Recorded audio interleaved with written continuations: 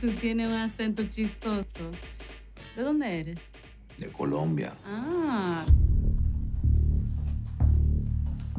No tienen 10 segundos para salir de aquí. 10. 9, 7, 5, 4, 3, 2, 1.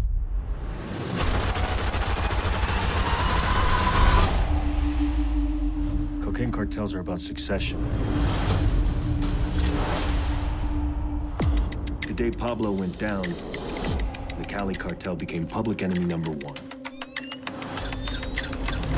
Their operations had grown into the biggest cocaine cartel in history.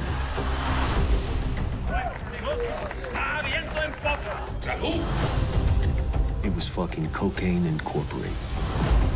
And they ran it like a Fortune 500 company. Los errores no se van a tolerar más.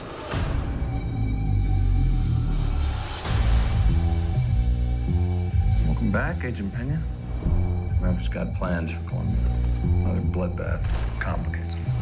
What's the play? We do Cali differently. Try to go up to the Cali bosses, all you'll get are more bodies.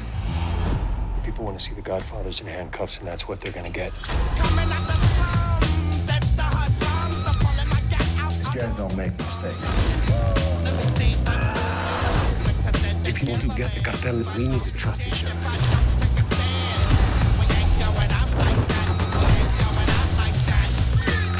To take down the gentlemen of Cali, you'd have to be crazy, stupid, brave, and lucky. All at the same time.